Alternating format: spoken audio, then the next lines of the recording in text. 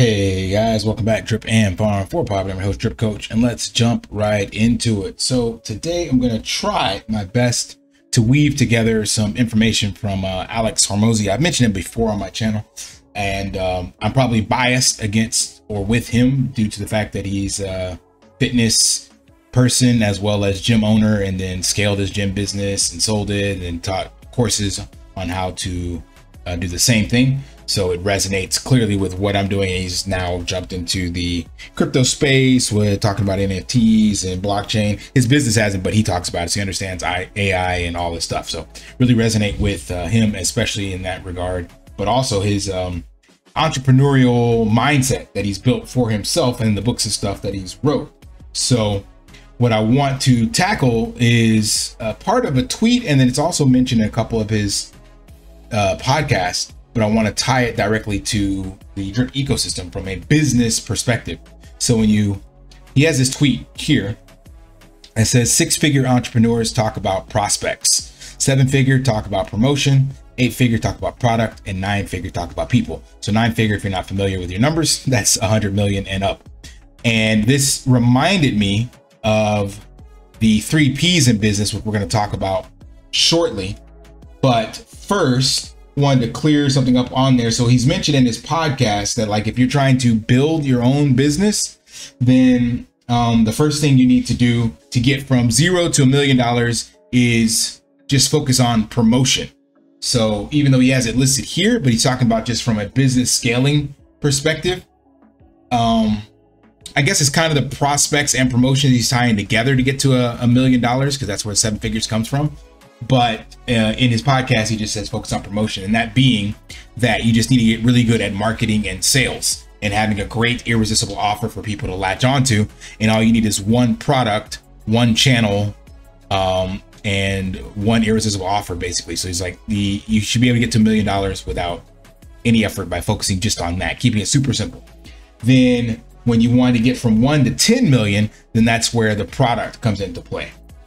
And then in between here, I've added 10 to 50 million, which is the process. So once you have that $10 million, getting the 10 to 50, you need to make things more efficient and start writing things down and systemizing. And then lastly, the people is still at the end. So still the exact same scenario, but I broke it down a little bit because if you're not familiar with the uh, Marcus uh, Lemonis' uh, three P's of business, people, processes, and product, then you'll kind of see where this ties together.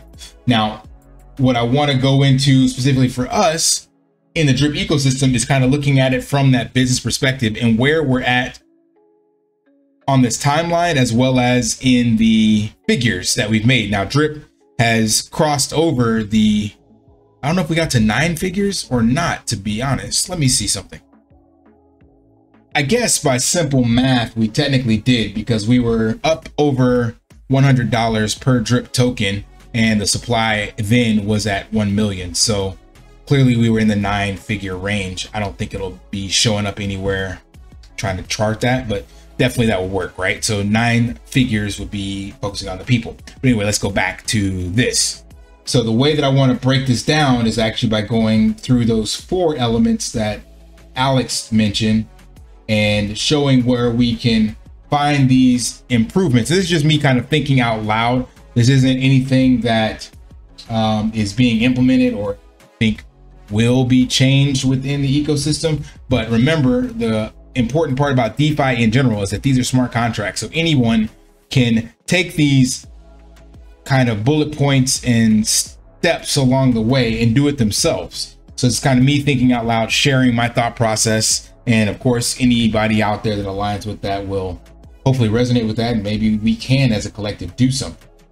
So before we kind of jump into drip, we got to kind of evaluate where the business is at, right? So let's just say you were someone looking to acquire drip and you wanted to turn it around.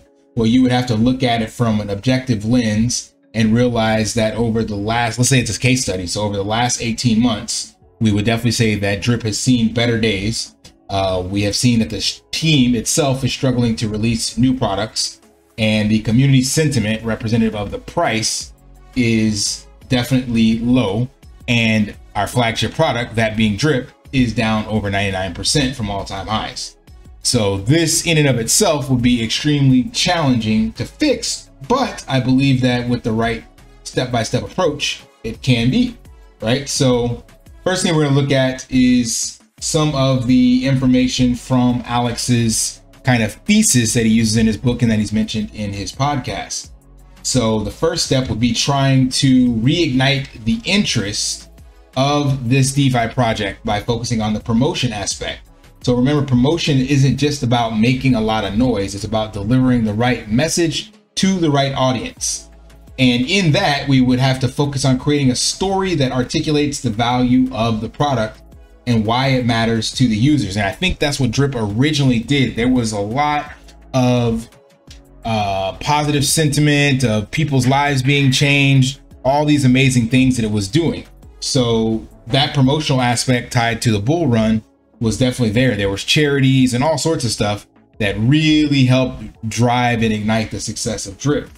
And he, once again, Forex at that stage was leveraging AMAs on multiple um, uh, channels, uh, doing some other talks and stuff, I think voice chats and whatnot. So there was definitely a positive sentiment. Now going forward, that could be recapitalized, restructured in kind of rebranding if necessary to reignite that. And it's not too late, but it worked before and it can work again if there's a common thread that you weave together. So that'd be step one, focusing on the promotional aspects of Drip because the current promotional aspects is hoping that the community puts out positive content or bullish content or whatever you want to say, positive price action content, but that's clearly not going to work because it hasn't been working. So something has to change in that promotional aspect since. Step two would then be moving to the product right here. So the product is the heart of the business and our core product is down 99% from its all-time high. So it's clear we need some kind of product innovation. So we need to understand what the users want, what they need, and what the market trends are and pivot if necessary. It's all about delivering real, undeniable value to the clients and users of the Drip ecosystem. That might mean bringing in fresh talent, collaborating with other successful products, and rethinking the tokenomics. Now, granted, we cannot change the tokenomics, but again, we're looking in the right direction because that's what Triple D is designed to do. So you can see that there's already things that we have in place, just a matter of doing them better, more effectively. So the product in and of itself, as I mentioned multiple times, it's a feature, not a bug. It's not broken, but something has to be done with it. And that's also where all these additional products are being built on top of it. And that too can help with the product aspect. So as I mentioned to you guys before and showing you on the screen, you have like 12 that I am aware of, different products that the Drip ecosystem is working on as a community collective. But next, we move to the actual process. So that's also found in here, people, product, and process. So now this is where the three P's of business line up in uh, the books. And in the process side, let's actually scroll to that. Where is it? Here we go. Uh, the process side, you have to kind of focus on streamlining the workflows and increase efficiency in a standard business model. This involves setting clear, achievable goals, adapting agile methods, and using the right tools to help manage the work. It's time to embrace transparency and create a detailed roadmap and share progress regularly with the community. So this process would be integral to keeping the positive sentiment in the community itself and having some uh, look behind the scenes at the roadmap and where we're at on it when I was doing the uh, Change 360 stuff with my team, we had our check-ins and we showed kind of the uh, agile scrum and the project management timeline and all this stuff. And then we made adjustments so that everybody could see clearly on like a little bar chart where we were at, what the expectations were, um, what was holding things up, where we were going from there, if they were held up, how the timeline would be affected, all that. I think this would be great to share with the community and let them know. It's like, okay, here's what we're currently working on. It's this project. And then you know, we plan on having it done and we plan on testing it this time, whatever. So clear the transparent roadmaps and processes in place so that the community is no longer in the dark and they can actually help participate on this. Think about this from an outside perspective. Imagine if the community, especially content creators, Medium, bloggers, TikTokers, Twitter tweets, and YouTubers were aware of what was coming up and, and they could work as a collective towards launch dates. Imagine how you could rally the sentiment because everybody knows what's going on and each person can put forth content in their area of expertise and you are flooding the internet with all this information about this thing. And if you uh, once again put this together in some kind of timeline and everybody knew about it, you could also weave the narrative that you wanted. So you could say, here's the brand images and the color and the voice that we want to have. You guys can use this stuff in your own user generated content. Da da da da da da. Like imagine how awesome that would be and how much positive sentiment could be gained from that versus what we've seen traditionally in DeFi, which is just like Twitter blast and Discord raids with random stuff and um, hoping that that works. And I think going forward, that is not going to work anymore. We have proof of concept with the Drip Marketing DAO that standard TradFi methods do indeed work. So ironing out the process would be huge win for the community and getting them involved so they can feel that they have ownership in this process versus left on the sidelines. And last but not least, that ties directly into the people because if you have all that other stuff mapped out, then the people feel like it's not just a random DeFi project. It's something they're actually invested in and that they have the ability to change and impact. So it's not just the team, but the community as well need to listen and engage and empathize. The team needs to foster a culture of innovation, openness, and shared responsibility. And the community needs to focus on creating open dialogue, being responsive, and act on the feedback that is received from the team. So if you can have this synergistic pattern with community integrating and working together with the dev team and the dev team sharing things directly with the community, man, the sky is the limit. It's crazy. So I hope that made some sense. And again, um, hope there's people out there that resonate with that kind of trajectory. Uh, this is what I believe can indeed be done from the community side. You know, even if we don't get the direct support from the team.